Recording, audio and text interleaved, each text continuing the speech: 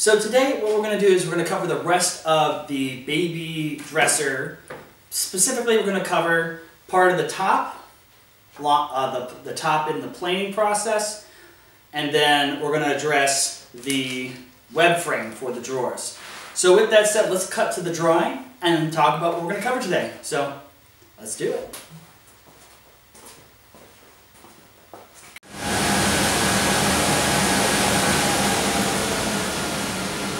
Good morning YouTube. Uh, so today I'm going to kind of splice a couple videos together. I'm going to plane down the top piece and construct the web frame for the baby's dresser. Now the reason why there's a change of venue, um, I actually made the pieces of my tabletop too wide for my planer, so I'm just going to plane the whole thing down as one fell swoop. So with that said, let's get to it. So in this clip, I've actually had a recording error. Uh, I recorded after I had finished planing the board down. Uh, again, the reason why I chose this particular planer is it did a really good job of bringing down the thickness from 7 eighths, I mean, sorry, 15 sixteenths down to 3 fourths thickness, which gave me a clean and consistent face on both sides of the board, which makes it a lot easier to work with. So now I can bring it back to the main shop and start working on the rest of it. So today we're going to work on this structure here along with the dividers inside the dresser. So the first process will be we're going to cut the drawer dividers out of the remaining plywood. And one thing that we might have to do, and we'll just do it now just in case, is the drawers kind of warped a little bit in the sun. So we might have to put a set of dividers going right down the center. So we'll need three 7-inch ones and two 4-inch dividers cut today. Now, the other thing we're going to put focus on is this structure here. So this is going to be our web frame. So we're going to need to do is we need a front piece of plywood that's probably the highest quality. So we want our nicest piece here. And then we might, I might actually change this structure just for the sake of making less cuts. What I might edit is instead, because this, I already have these parts cut. So instead, what we'll do is when we make these, so these are our stiles. So when we're doing standard furniture construction, these are classified as our stiles and these are our rails. So just to save on the amount of cuts, I'm going to change the drawing to one, two stiles, and then one, two, three, four rails. And the point of these two rails on the inside is it gives me a, a support piece to connect that drawer divider in. And again, why that's important is since we're doing floating drawers, so the drawers are not sitting on the ground, I need a piece of wood to secure my runner on. So this is critical to creating the type of drawer we're doing. So with that said, what we're going to focus on is we're going to do the dividers first, rip them to their final widths, and then work on the stiles and rails and do all the pocket holing today. So with that said, let's get to it. So let's get to work. So right now I have a mock-up of what the web frame is going to look like for the baby dressing. So I do have two rail pieces and two stile pieces that will meet the requirements. So I'm going to need at least two more of these rails cut out of my excess pieces, as well as one, two dividers for the top. Now, we had spoken about the other shelves getting one, so that would be three pieces, so three of these pieces cut at seven inches. And the reason why I'm going to make that effort is that I can use this to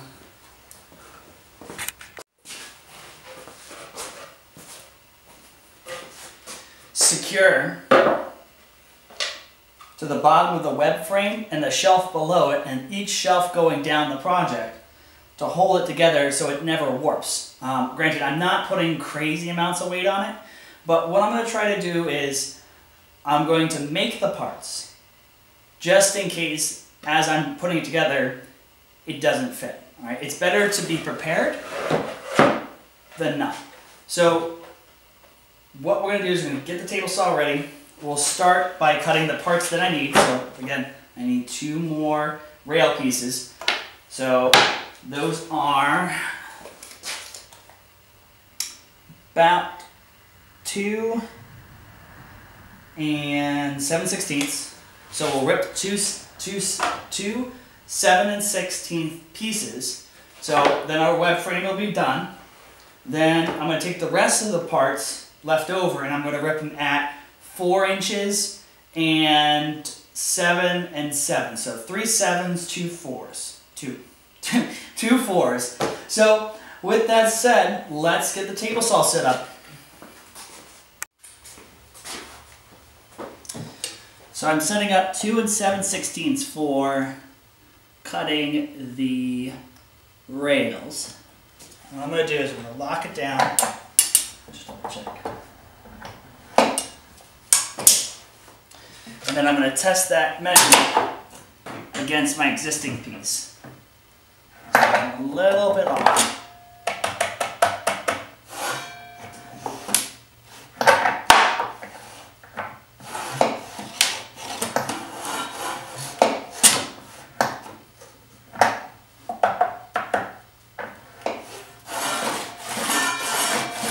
Perfect. Now let's just cut our two pieces now.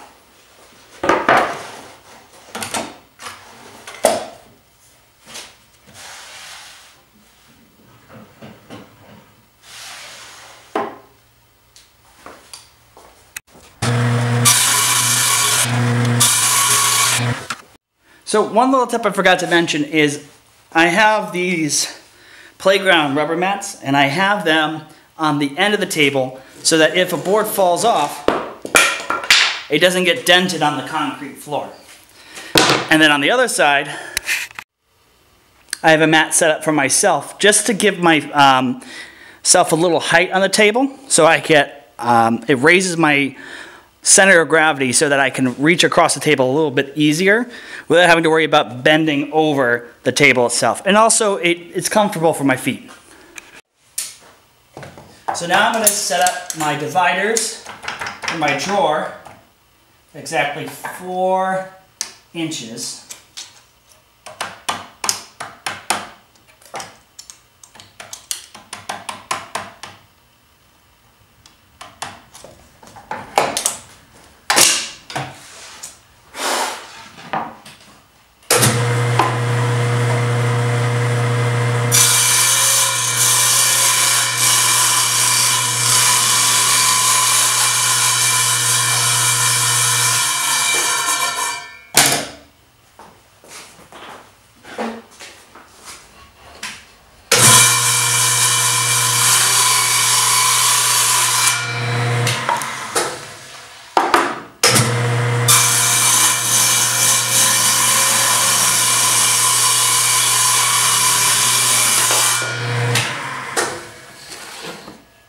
So, made a mistake. I forgot to set my micro jig to the new measurement. And if I had kept going, I would have cut into my jig. So, gotta take your time on things like that.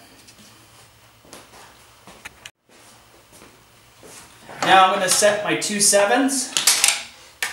I'm at three seven inch pieces. So, tap it out, lock it in.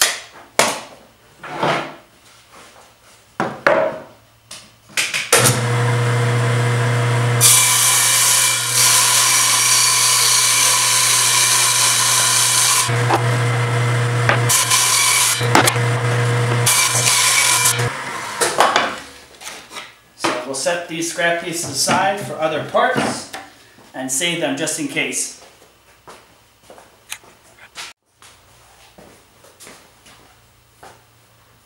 So now the web frame,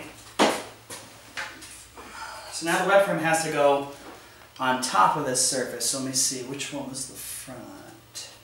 That was the front stile rear stile. Then we got our four rails, so you're gonna do one here. This one's going to be about there. Here and there. So what is critical, so these end pieces don't exactly matter because again, they're gonna be flush with the shelf. So that's the final length. The spacing on the drawer though does matter. So I look at my plans. The distance from here to the inside divider, so if I put this up, so this is the four inch divider. So the distance from over here to here should be about nine and a half inches. So let me just adjust that real quick. So from here to here should be about nine and a half inches. And that will give me my spacing for the web frame itself. So here's what's gonna happen. I'm gonna put these aside. and these are gonna get cut down to their final length on the chop saw after I finalize my stiles. So what I'm looking for is if I can slide this to get a better piece. So if I put that there and I cut it to this length, I'll only have one, two defects to fill. Whereas if I went the other way, I'd have three. So this will be less work. I'm gonna put it right there. And then I'll measure my, my shelf one more time, take out my combination square and mark it. So let's do that.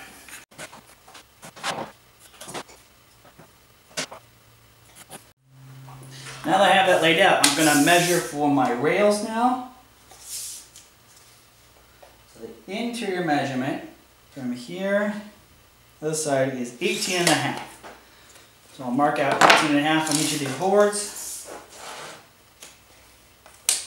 And then cut on the chop saw.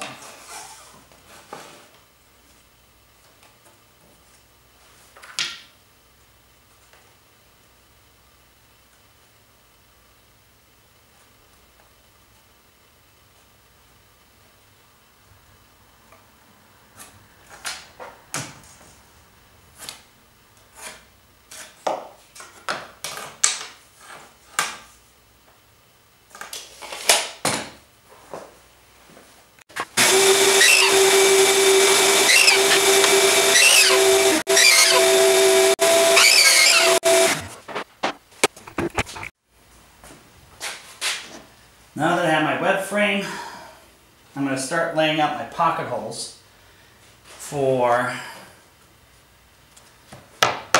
the rail. So I'm going to pocket hole into the stiles this way, this way, and then on the side here, the rail is going to get, I mean the stile is going to get one on the end, one on the end, one on the end, one on the end, and then one, two, three, four across the center, and then one, two, three, four. And that will allow me to screw it into the wall. So there'll be six total on the side. And then here, we're gonna pocket hole one, two, three, four, facing both up and down. So this will screw down into the web frame and up into the top. So that'll create a nice strong structure. And then I'll do the same over here. All right? But what I'm going to do now is I need to get this set up first. So let's line up the nine and a half measurement so that I could put the center rails dead center. So what does nine and a half look like? Nine and a half.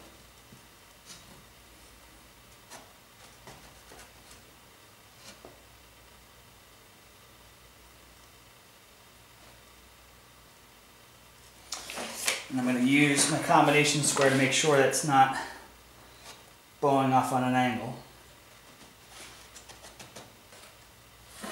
So that's in the center. So I'm just going to make an alignment mark here. So that's one.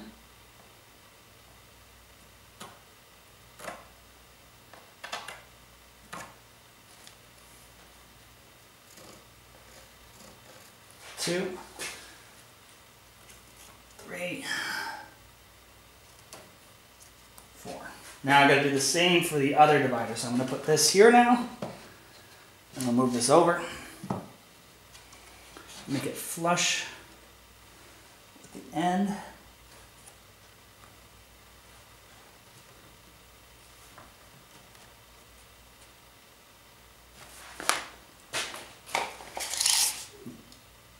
Nine and a half.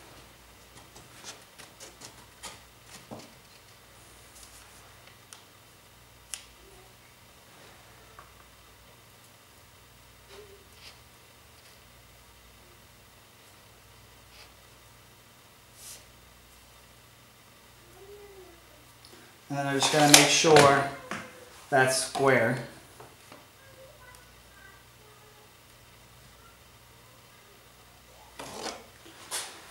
Right back here, square and square. So I'm gonna put this in the center. I'm gonna make my alignment marks. So one, two, three, four. And now that I have those all set, I can do one, two, three, four. So there's four here, two on the end. Two on the end, one here. One, two, one, two, one, one, one. So all the pocket holes have been laid out for the web frame. So now we gotta do one, one, two, two, three, three, four, four. And then one, one, two, two, three, three, four, four. All right. Now, while I have everything in the layout phase, I'm also going to do the same for those um, seven inch dividers. They're literally going to get pocket hole the same way. So ready? So one, one, two, two, three, three, four, four. One, one, two, two, three, three, four, four. One, one, two, two, three, three, four, four. Now, the reason why I went with that kind of spacing, specifically for these dividers, is I'll get one screw in the front of the web frame, one in, so the in the front stile, two screws in the center rails, and then a fourth screw in the rear stile. And what that'll do is that'll pull the entire structure flat. So with that said, let's pocket hole. So just like before, what I'm to do is I'm to line up my mark, lock it down, go forward, go back. But first off, I want to make sure that this foot that allows me to lock my piece down locks it nice and tight. I don't want it to move at all while I'm cutting. Lock that down. All right, let's do this. Get it done.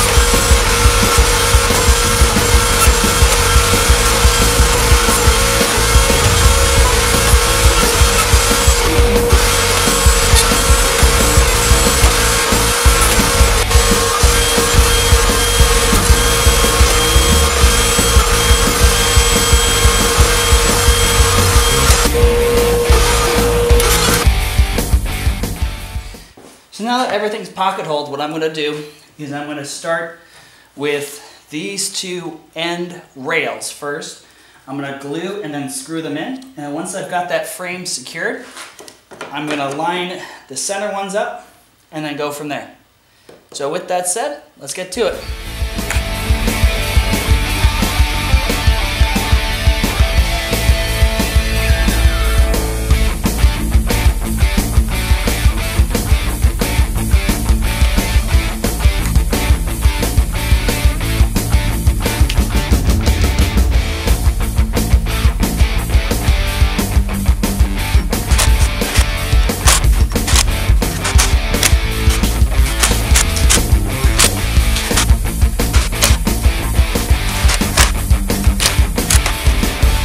We go. We got our web frame. So what I'm gonna do real quick, just gently sand it up.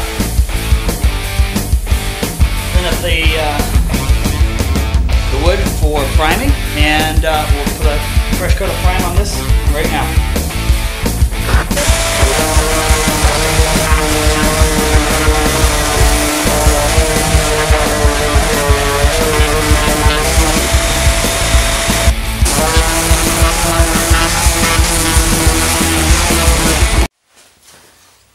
So on the front piece, I had a little piece of wood from the front edge split off, so I'm going to pull that back.